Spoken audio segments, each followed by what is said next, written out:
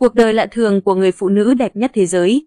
Tôi nghĩ là trí thông minh thú vị hơn bề ngoài. Hedy Lama nói về khát khao làm khoa học dù được mệnh danh đẹp nhất thế giới. Từng được mệnh danh người phụ nữ đẹp nhất và đóng hơn 30 bộ phim, Hedy Lama lại tìm thấy bản thân trong các sáng chế. Bà từng góp phần tạo ra công nghệ nhảy tần, tiền thân của Wi-Fi, GPS và Bluetooth mà ngày nay hàng tỷ người sử dụng.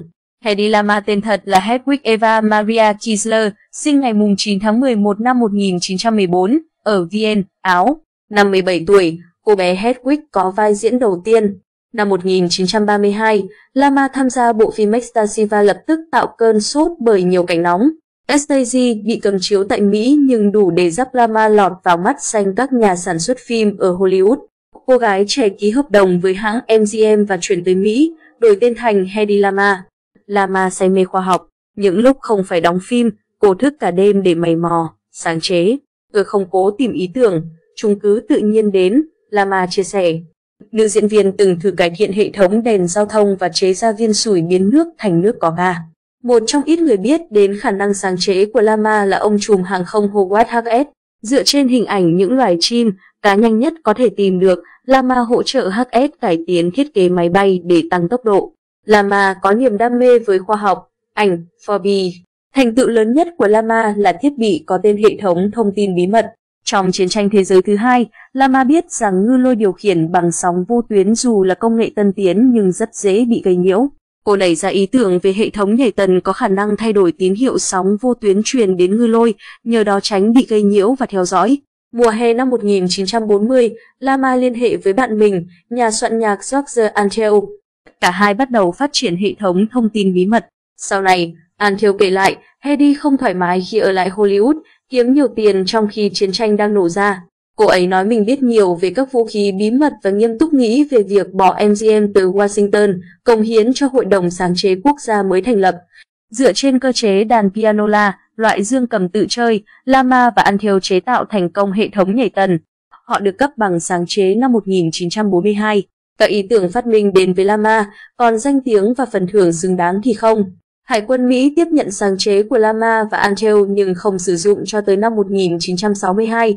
Quân đội tin rằng nhan sắc của nữ diễn viên hữu ích hơn nên đề nghị Lama giúp họ bán trái phiếu chiến tranh bằng cách bán nụ hôn.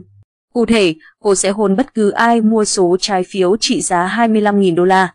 Hội đồng nhà sáng chế quốc gia Mỹ từng nhận xét Lama rất có tiềm năng cho chương trình quốc phòng quốc gia xong. Sự nghiệp khoa học của nữ diễn viên không được biết đến rộng rãi cho tới cuối thập niên 1990. Đối với báo chí, cuộc sống của Lama chỉ xoay quanh nhan sắc, những bộ phim và chuyện tình cảm phức tạp với 6 lần kết hôn, 6 lần ly dị. Những vai diễn Lama đảm nhận hay có điểm chung là xinh đẹp, dễ hấp dẫn đàn ông nhưng ít nói. Bà hiểu rõ lý do sự nghiệp khoa học của mình bị bỏ quên, nó không phù hợp với chiến lược kinh doanh của hãng phim. Trong bộ phim tài liệu Bombshell, giáo sư Jen Christopher Horak, giám đốc phòng lưu trữ phim và truyền hình Đại học California, Los Angeles nhận định mẫu phụ nữ vừa xinh đẹp vừa thông minh không được Louis B. Mayer, nhà sáng lập MGM, ưa thích. Một phụ nữ quyền lực, xinh đẹp và thông minh khiến đàn ông sợ hãi, tiến sĩ Simon X, giám đốc thương hiệu ở trường kinh doanh ESG Paris cho biết. Theo tiến sĩ Niex, trước kia, các nữ diễn viên chỉ được coi trọng về nhan sắc chứ không phải trí tuệ, chỉ như những món đồ chơi và không có tiếng nói.